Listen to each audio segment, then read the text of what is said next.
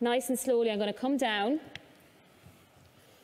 And the trick is with this exercise, you kind of want to scooch in quite close before you get into the position.